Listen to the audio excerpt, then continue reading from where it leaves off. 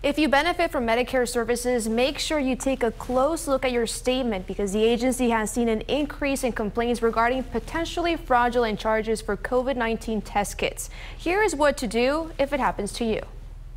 This is a Medicare statement shared to our newsroom. If we take a closer look, there are multiple charges that state, quote, provision of COVID-19 test, non-prescription, self-administered and self-collected use, FDA approved. The amount charged to provider, $200, $96 approved by Medicare and $94 paid by Medicare. These charges appear multiple times on different dates, March 22nd, April 7th, April 13th, April 16th, and 17th. However, the owner of this account says their physician did not order any tests and they never approved those charges. The statement lists other labs as the ones ordering the tests. I reached out to Medicare and Medicaid services, and a spokesperson told me that CMS implemented over the counter COVID 19 test demonstration to test the efficacy of Medicare covering over the counter COVID 19 tests without cost sharing during the COVID 19 public health emergency, which ended on May 11, 2023. As a result, of the spokesperson said the agency has identified an increase in test kits complaints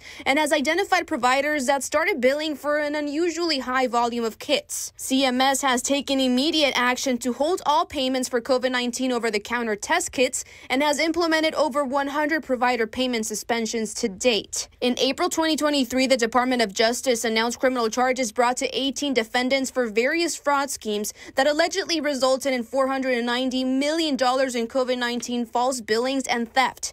This included charges against suppliers of COVID 19 over the counter tests. So, what can you do if you notice an unapproved test kit charge on your statement? Only share your Medicare beneficiary identifier with a trusted healthcare provider. Report fraudulent charges to 1 800 633 4227 and request a new MBI if yours was compromised. The Medicare and Medicaid Services spokesperson also told me that they are investigating these complaints and are also collaborating with law enforcement partners on similar COVID-19 fraud schemes.